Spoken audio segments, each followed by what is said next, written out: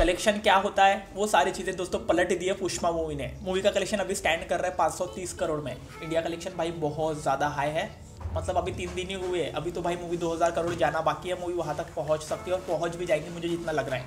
खैर, इस में हम बात करेंगे दोस्तों एकदम खतरनाक मूवी पुष्पा टू की ओटीटी रिलीज़ डेट के बारे में अपडेट्स के बारे में, कि मूवी की क्या कुछ डिटेल्स है। आई एम श्योर बहुत लोग मूवी को ओ पर देखना चाहेंगे और एक ट्रेंड अभी चल रहा है कि मूवी ओ टी प्लेटफॉर्म से पहले जुगाड़ू जगह पर लीक हो जा रही है। कुछ अजब गजब चीज़ें हो रही है, बहुत सारे फैंस को ये सारी चीज़ें बताएँ खैर, पुष्पा टू की रिलीज़ डेट जानने के सबसे पहले आपसे रिक्वेस्ट है वीडियो को लाइक ज़रूर कर देना, कि ज़्यादा लोगों तक ये वीडियो पहुँच पाए तो लाइक कर देना सब्सक्राइब कर दो चैनल को और बस एंड तक देखते रहो। बात करें भाई पुष्पा टू के बारे में तो डेफिनेटली कलेक्शन के मामले में सारी मूवीज़ को, सारे रिकॉर्ड्स को तोड़ दिया है के जी एफ़ क्या, बाहुबली क्या, सब पीछे रहने वाले इसके।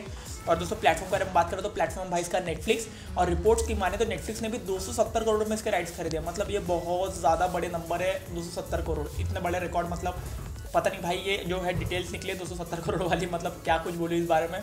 मुझे कुछ नहीं पता। खैर दोस्तों हाँ नेटफ्लिक्स ने इसके राइट्स एक्वायर किए तो इस बार प्राइम वीडियो वाले पीछे रह गए, क्योंकि पार्ट वन आपको अमेजोन प्राइम पर देखने को मिल रहा था। लेकिन इसका पार्ट टू जो है, वो सीधा नेटफ्लिक्स के प्लेटफॉर्म पर आ रहा है।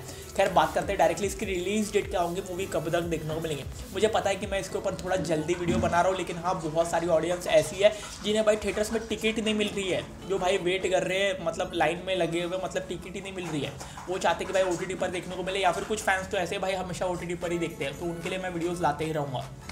खैर बात करें इस मूवी के रिलीज़ डेट के बारे में तो ये मूवी अभी थिएटर में लगे रहने वाली है। हाँ कुछ एक से दो महीना भी रहने ही वाली है। मतलब कितने भी कलेक्शन कर लेंगे अपने टाइम पीरियड कंप्लीट होने के बाद ही ओ पर आएँगे। लेकिन रिलीज़ डेट का मैं बता दूँ, ये मूवी आपको सीधा जनवरी में देखने को मिलेंगी, अगले साल। मतलब अब तो दिसंबर स्टार्ट है।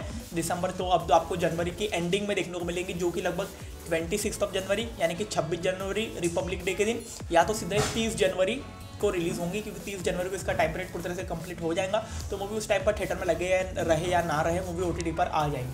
तो ऐसे कुछ इसकी रिलीज़ डेट रहने वाली है। आप बताओ, आपने मूवी को एंजॉय कर लिया फैमिली के साथ में या नहीं? कमेंट में। वीडियो पसंद लाइक कर दो सब्सक्राइब कर दो चैनल को।